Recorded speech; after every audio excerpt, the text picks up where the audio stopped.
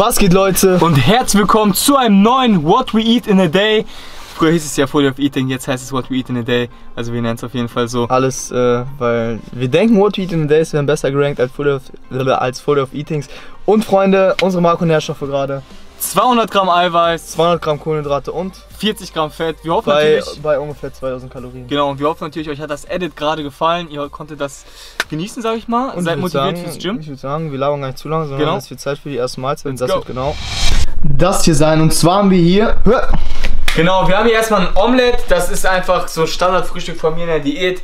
Ist einfach reich an Protein, hat relativ wenig Kalorien und schmeckt einfach mega lecker. Warum hat ein Omelette wenig Kalorien? Genau, wir machen das so, wir trennen die Eier, wir haben hier drei Ei klar und ein Vollei. In dem Omelett haben wir dann zwei Scheiben Rohschinken, ungefähr 30 Gramm Mozzarella Light und dann haben wir noch zwei Toast. Was haben wir da drauf, Willi? Genau, da ist ganz einfach äh, 40 Gramm Chicken drauf, jeweils eine Scheibe, 20 Gramm Chicken pro Toast und ein bisschen Frischkäse mit einer Tomate, Paprika und Salz. Und ich würde sagen, Chai dazu. hier die Makronährstoffe. Einmal hier. Oder? Achso, hier, okay. Ich würde sagen. Erstmal.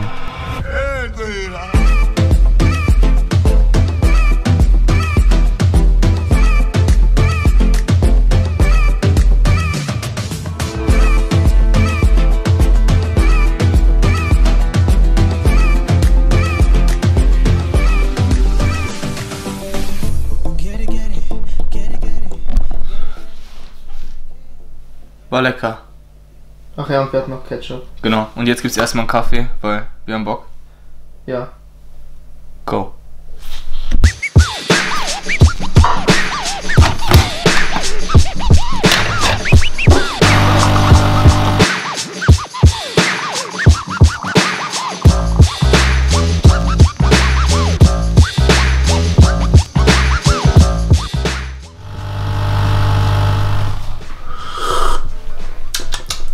Freunde, wie gesagt, nach dem Training, beziehungsweise gerade nach dem Essen, Arthur, du liebst das, wenn ich das mache, ne? Nein. Nicht? Ja. Auf jeden Fall gibt es jetzt erstmal einen Kaffee und vor allem, wenn ihr Kaffee trinkt, wenn ihr Kaffee mögt, erstens gut für die Verdauung, zweitens hemmt das ein bisschen den Hunger. Also wenn ihr in der Diät, äh, sag ich mal, viel mit dem Hunger zu kämpfen habt, was natürlich logisch ist, ist das auch eine Empfehlung. Schön Kaffee sippen, ein bisschen den Hunger stellen, beziehungsweise ein bisschen den Hunger, ja, wie soll man sagen? Bisschen Stillen. Stellen, ne? Ja, durch. Koffein. Genau. Rein damit und wir sehen uns gleich wieder. Leute, Ja. ein Paket. Oh Mann, ey. Weihnachten verspätet. Danke. Danke, Okay, das, Papa. äh, das passt. Ich würde sagen, das machen wir jetzt auf. ja, Mann. Danke, Papa. Danke, DHL. Danke, äh, Weihnachtsmann. Okay, Freunde, ähm, ich würde sagen, wir machen kurz das Paket auf und zeigen euch, was wir dies, ja, diesen Monat bestellt haben, oder? Ja, ja. lass uns das machen. Oh, jetzt. Freunde, erstmal als allererstes, man sieht's, neu im Sortiment, Proteinchips. Jeder Wollt kennt sie direkt von gönnen, anderen, äh, von anderen Herstellern, aber wir haben die noch nicht bei Process gehabt. Jetzt gibt es die auch bei Process. Ich würde sagen, Ja. Wenn wir die erstmal essen, dann, äh, Cheese Onion, was hast und du? Barbecue. So, dann haben wir Beef Jerky in verschiedenen Geschmacksrichtungen, Barbecue Flavor, Original Flavor und Teriyaki Flavor. Mal schauen, sind auf jeden Fall geile High Protein Snacks. So Freunde, dann haben wir unsere Protein Snacks, also fangen wir mal an mit den originalen Protein Snacks, weil die auch Protein Snack heißen. Sind einfach kleine Protein Riegel einfach für Mit- zwischendurch Genau, mit relativ wenig Kalorien, also das kann man zu ihrem Kaffee schön snacken, auch Genau. in der Diät. Dann Genau. geht's weiter mit den Zero Snacks, die haben, die sind ist auch quasi das gleiche, nur mit mehr Ballaststoffen. genau, mehr Ballaststoff, ein bisschen mehr Eiweiß. Unsere Lieblings-Cookies. Und unsere Lieblings-Melty Bars. Genau. Und also zwar ich mag auch Peanut Butter. Ähm, Karamell extrem, aber Peanut, Peanut Butter Butter noch ist nochmal nice. Das. Freunde, einiges an Pasta. Also wir haben hier Protein Nudeln und Protein Spaghetti. Genau, und die Besonderheit ist hier einfach, ihr habt hier viel, viel weniger Kohlenhydrate und viel mehr Eiweiß. Hier diese Pasta hat zum Beispiel pro 100 Gramm 1,6 Gramm Fett, nur 31 Gramm Kohlenhydrate und 50 Gramm Eiweiß. Ich würde sagen, wenn die genauso geil schmecken, wie die Werte sind, dann äh, ist das auf jeden Fall Jackpot. Haben wir noch nicht Ja. probiert, machen wir, denke ich, aber heute noch. Auf jeden. Und hier Protein Pudding. Haben wir schon mal gesagt, schmeckt einfach geil und hat geile Nährwerte. Vor dem Training, Big Shot in der Diät. Und natürlich dürfen unsere Multivitamine und Co. sowie von Nährstoffe nicht fehlen. Wir haben hier einmal Omega 3 Da haben wir hier Vitamin D3 und Multis. Genau, das hier auch noch vor dem Training sind keine Vitamine, einfach Arginin für den Pump. Ganz genau. Wahrscheinlich, dass wir es geholt haben. Was auch geil ist, einfach Flavor fürs Wasser. paar Kalorien sparen und geile Getränke trinken. Und Whey, natürlich. Erstmal ein bisschen Vorrat. 3 Kilo. Okay, welche Geschmäcker? Wir haben hier einmal Extreme Milk Chocolate Flavor, haben wir noch nicht probiert. So, dann haben wir einmal Vanille Toffee Flavor, auch noch nicht probiert. Und Chocolate Brownie Flavor, ich glaube, das hatten wir auch noch nicht. Nee. Aber danach sind wir, glaube ich, soweit durch. Nicht ganz, aber fast. Noch und bis jetzt äh, gab es noch kein einziges Whey, das nicht geschmeckt hat. Ja. Und so viel zum Unboxing.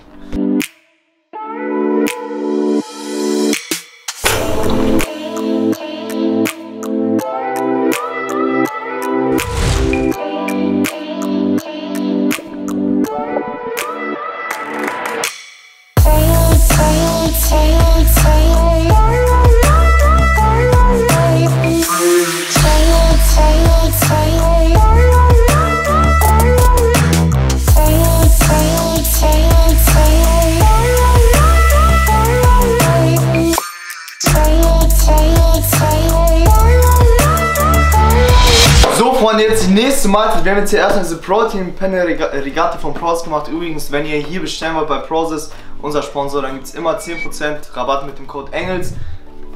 Immer unten in der Beschreibung. Und Freunde, dazu gibt es 200 Gramm Tofu und 200 Gramm Gemüse, ein bisschen angebraten mit Sojasauce, Knoblauch und so einer russischen Soße, Baklajan. Und Baklajan heißt das, ne? Richtig, Baklajan. Papa? Да. Mit Baklajan, aber das ist doch nicht nur Баклажан, а- aubergine. Aubergine, das ist eigentlich baklajanная икра. Ist doch eine Soße. Ну, как бы- Also Hauptbe Да, да. Hauptbestandteil ist Baklajan. Ну да. Also Aubergine. Achso, okay. Auf jeden Fall direkt erstmal ein bisschen Unterricht bekommen. Auf jeden Fall gibt es das jetzt hier einmal die Wachenherrschaft und ich würde sagen. Bis zur nächsten Mahlzeit würde ich sagen. Essen wir mal.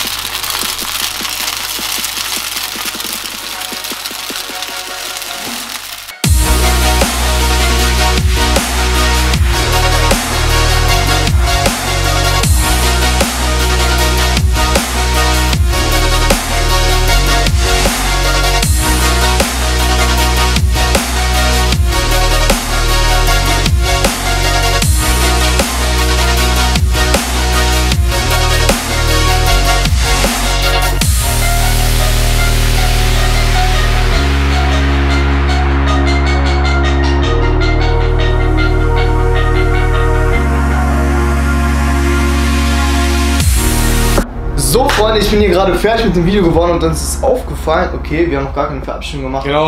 Bei Ah. Full Life Eatings ist es eigentlich immer so, dass man ja extrem früh anfängt mit dem Film und extrem spät quasi aufhört. Ja. Und man halt irgendwann einfach K.O. ist und wir wollen nicht die Kamera in die Hand nehmen, wenn wir keine Energie haben. Genau, plus Arthur ist dann irgendwann nach Hause gefahren um halb elf oder so. Dann habe ich nochmal.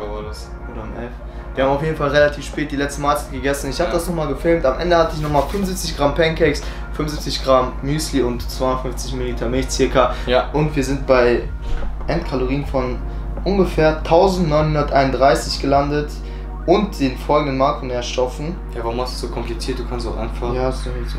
Nein, damit du es checkst. Geh auf dein Tagebuch. Ja. Lösen hier drauf. Oh, nice. Auf jeden Fall sind wir bei den Makronährstoffen 194 Gramm Eiweiß, 166 Kohlenhydraten und 46 Gramm Fett gelandet. Ein bisschen mehr Fett, Genau. als wir uns vorgenommen haben, ein bisschen weniger Kohlenhydrate, als wir uns vorgenommen haben. Ja. Circa genau das Eiweiß getroffen. Genau, und Ballaststoffe 22 Gramm, bei 2000 Kalorien ist das auch noch vollkommen okay. 10 bis 15 Gramm Genau. ungefähr, aber geht natürlich auch mehr auf 1000 Kalorien circa. Wichtig ist hierbei, dass wir jetzt ein sehr, sehr großes Defizit fahren. Das haben wir noch gar nicht gesagt. Wir essen jetzt nur drei bis vier Wochen so Ja. und das ist jetzt nichts für eine längere Zeitraum, für einen längeren Genau, auch, Zeitraum. auch nicht was, was man konstant machen sollte. Das ist jetzt einfach, wie, wie schon gesagt, Vier Wochen lang machen wir das jetzt. Den Danach gehen wir auch quasi, springen wir wieder in den Aufbau. Ja. Ich denke nicht genau zu 3000 Kalorien, das war schon am Ende so, das war, ich habe ein bisschen mehr als 2000 gegessen. Ja, also man hat ungefähr am Ende Ja. 3000 getrackt, aber Genau, man hat auch hier eine Kleinigkeit Ja, genau. nicht getrackt, da eine Kleinigkeit nicht Das getrackt. darf man auch nicht vergessen, wenn man diätet, wird der Grundumsatz bzw. der allgemeine Kalorienverbrauch nach der Diät anders sein als vor der Diät. Wahrscheinlich weniger, weil man weniger mit sich rumschleppt. Ja. Und ja, Freunde, wir hoffen auf jeden Fall, euch hat dieses What Eating Day gefallen. Wir uns natürlich über ein Like freuen. Über einen Kommentar, was ihr von uns sehen wollt. Und wenn ihr denkt, warum hast du so eine komische Stimme jetzt? Man halt so ein bisschen so. Und Weiß man nicht. Also, Nein? Okay. Schreibt in die Kommentare, was ihr noch sehen wollt, ob ihr irgendwelche. Auch wenn ihr Challenge-Ideen habt, schreibt sie auch gerne in die also die Kommentare. können wir wahrscheinlich, Nach wahrscheinlich nicht im Januar machen. kommen. Da Oder ihr kennt irgendwelche Challenges, die man der Diät Genau. machen kann. Und über ein Abo, wie wir uns freuen. Ich würde sagen, Bis zum nächstes Mal.